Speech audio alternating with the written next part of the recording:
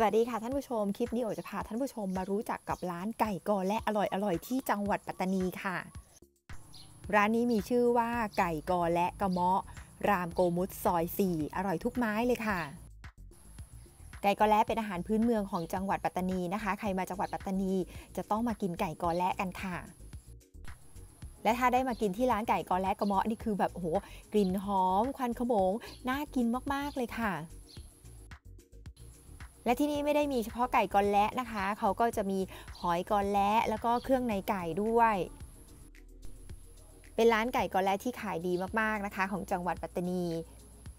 ปิ้งย่างกันตลอดเวลาเขาว่ากอนและเนี่ยแปลว่ากลิ้ง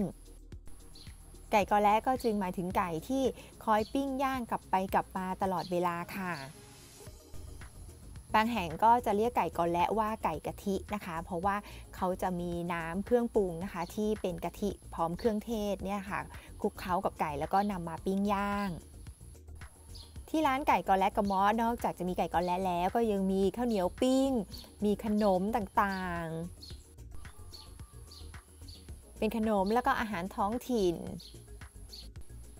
ล้วนแล้วแต่เป็นอาหารที่หากินได้ยากที่อื่นนะคะ ต้องมาจังหวัดปัตตานีเท่านั้นค่ะ เป็นเสน่ห์ของจังหวัดปัตตานีเลยทีเดียว ห่อหมกก็อร่อยค่ะที่นี่ข้าวเหนียวปิ้งนี่พลาดไม่ได้เลยนะคะ กินกับไก่กอและอร่อยมากๆ ร้านไก่กอและกระเมาะนี่คือขายกันตั้งแต่เช้าเลยนะคะ เปิดขายทุกวันค่ะ แล้วเขาก็รับประกันเลยนะคะว่าอร่อยทุกไม้แน่นอน แล้วก็จริงๆด้วยค่ะกินแล้วโหอร่อยถูกใจมากๆถ้าหากว่าท่านผู้ชมมาจังหวัดปัตตานีนะคะ แนะนำนะคะร้านไก่กอและกระเมาะ ถนนรามโกมุต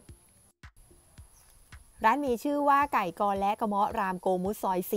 4 แต่ถ้าหากว่าท่านผู้ชมขับรถมาเจอรามโกมุตซอย 4 จะไม่เจอร้านนี้ค่ะ จะต้องขับเลยไปถึงซอย 14 นะคะ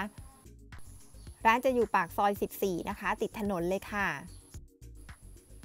ร้านไก่กอและกระเบาะรามโกมุตซอย 4 ใครมาเที่ยวปัตตานีแนะนำเลยนะคะ